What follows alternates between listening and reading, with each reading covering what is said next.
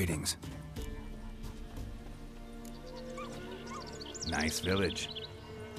Aye, A real pearl of the swamps. if you say so. You get by all right? Aye, winter to winter. Somehow we survive. Recognize this dagger? Aye, master. I didn't know you belonged to them. Don't belong to anyone. Down to business. I want to get this done quickly. Ah, so that's how it's to be. I'm supposed to help solve your problem. Tell me what it is. Just the essentials. The war awoke an ancient power. An evil one that feeds on bloodshed. Nightmares haunt our nights and days. Folks sleepwalk from their homes, never to return. Under the tree on the Whispering Hillock they lie. Unburied, all. Fathers, sons, daughters, and mothers. Folk are afeared to move them. You must go there. The dark powers must be cast off.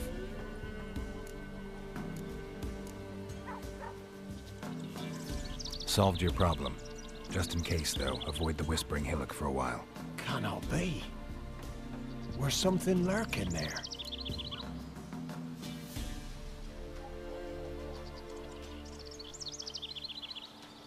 Evil spirit had possessed a tree on the hill.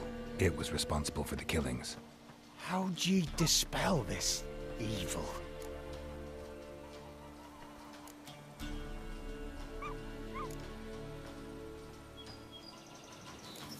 Went up the hill, took care of the problem. The details are my concern. Aye, truly said. I knows naught of such things anyway. The crones, or the ladies of the wood as you call them, said to remind you about payment. Take it you know what they want? Aye, I do. Give me the dagger. Be back soon.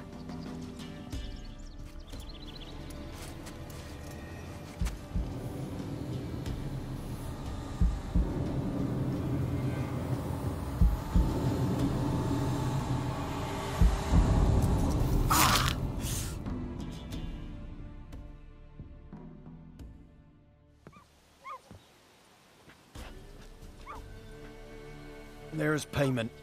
Take it to the ladies, will you? What the hell was that? Tis our pact.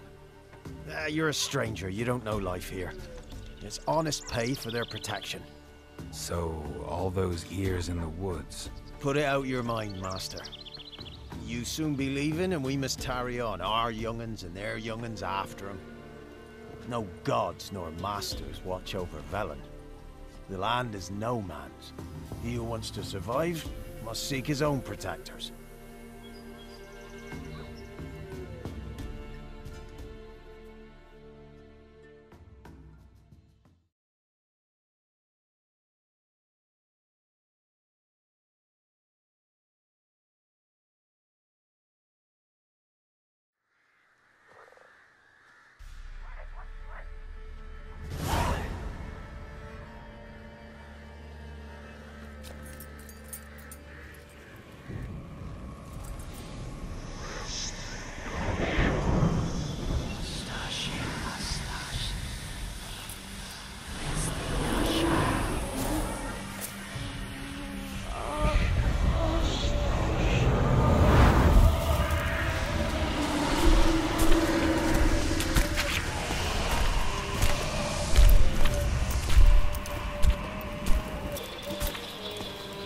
Sheathe your weapon, young man.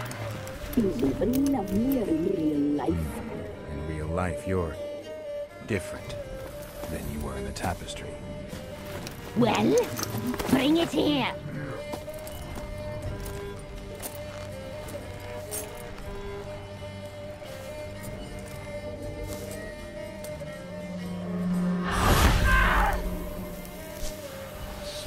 You can bring it, not ugly.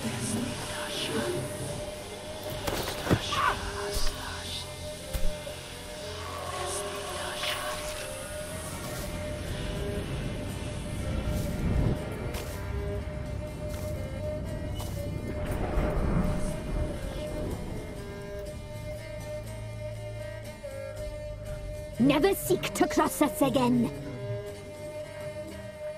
We shall forgive you this transgression, for you've done well. Your children are plump as piglets, sweet as caramel. But now we must talk to our white-haired friend. I know that mark. This is Anna, the wife of the Baron of Crow's Perch.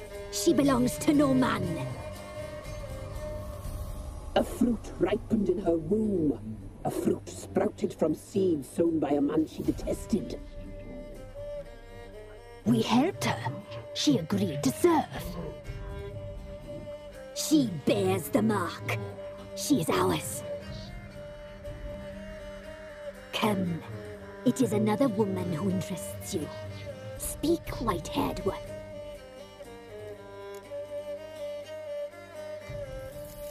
You looked different in the tapestry. We're all dressed up just for you. If you only knew how much time we spent in front of the glass. Do you desire us? You know why I'm here. You know what I want. You shall dream of us and return for what you reject. They always come back. Our deal. I did my part, now you do yours. A word once given, we never break. The girl. Mousy blonde. That's what they call it. Thin as a rail, terrified, exhausted. She could barely stand the poor thing. We cared for her as best we could. Like she was our own daughter. Wasted affection. She proved a very naughty girl. Mischievous, stubborn, and selfish. Don't believe you. They say you always keep your word, so tell me everything, exactly as it happened. We shall tell you, brave boy.